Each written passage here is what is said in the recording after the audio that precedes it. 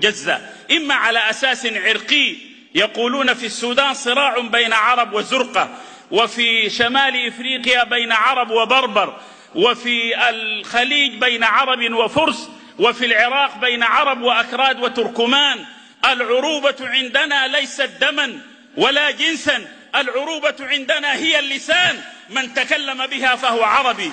من الذي خدم اللسان العربي لغة وبيانا؟ وصرفا وبلاغة ونحوا إنه سيبويه. عربه اللسان.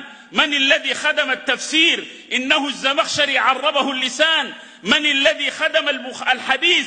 البخاري والترمذي. عربهم اللسان. من الذي خدم الفقه؟ إنه أبو حنيفة. عربه اللسان. إذا العروبة ليست لأب ولا لأحد ولا أم. إنما العربية هي اللسان. فمن تكلم بها فهو عربي. ننأى بأنفسنا من أن نكون معبرا أو جسرا لتجزئة المجزأ ولتقسيم المقسم إما على أساس عرقي أو على أساس مذهبي طائفي أو على أساس ديني. كلمة أخيرة أختم بها. إننا نرجو أن يكون الإصلاح ليس ردة فعل طارئ وإنما فقه يقدم البدائل.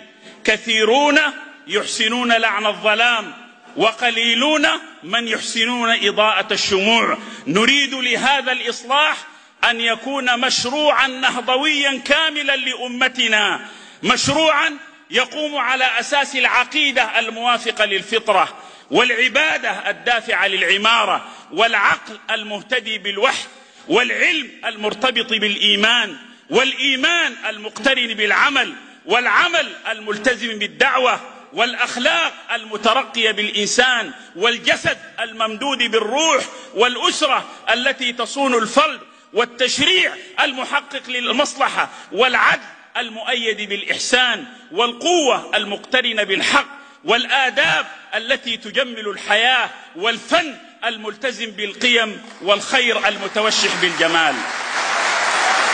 تكبير أيها الإخوة المقدمة الكريمة تطاردني بين حين وآخر. وإني مشتاق إليكم ولكن لا بد أن نحترم النظام. فهذا بناء مؤسسي أختم تحيتي بهذا بهذه الأبيات لكم معشر إخوتنا من المغرب الشقيق. بيني وبينكم ود تعهده رب السماء بتطهير وإكمال.